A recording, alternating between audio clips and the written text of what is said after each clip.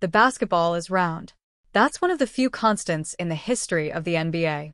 There have been more than 12 million NBA games played, so there are plenty of unexpected things that have happened in so many opportunities.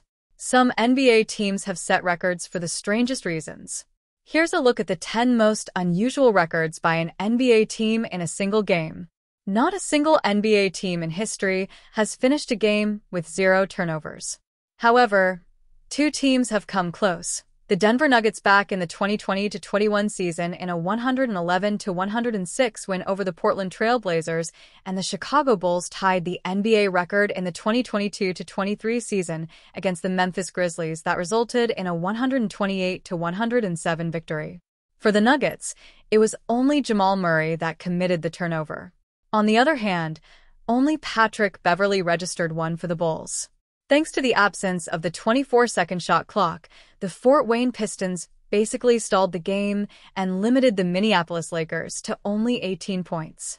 George Mikan scored 15 of those points while Bob Harrison and Jim Pollard were the only other scorers for Minneapolis.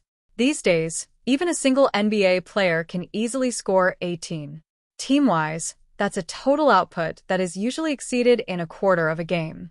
Unusually, the Detroit Pistons managed to score 186 points to set an NBA single-game record after taking the game to three overtime periods to earn a two-point win over the Nuggets. The Pistons had plenty of heroes, headlined by Isiah Thomas's 47 points and 12 assists.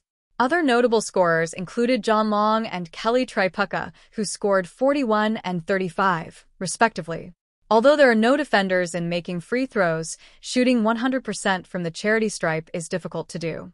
However, when the Miami Heat took on the Oklahoma City Thunder, they just couldn't miss from the charity stripe. The Heat went 44-40 at the charity stripe to escape the Thunder, 112 to 111. Jimmy Butler made more than half of the team's free throws by hitting all 23 attempts from the free throw line. Given the physicality in the NBA, it's quite common to see fouls in a regular NBA game, especially in the modern era. However, the Bucks recently made history by only committing a total of four fouls in a game against the Boston Celtics. Don't forget like, share, subscribe, my channel Babu Das News.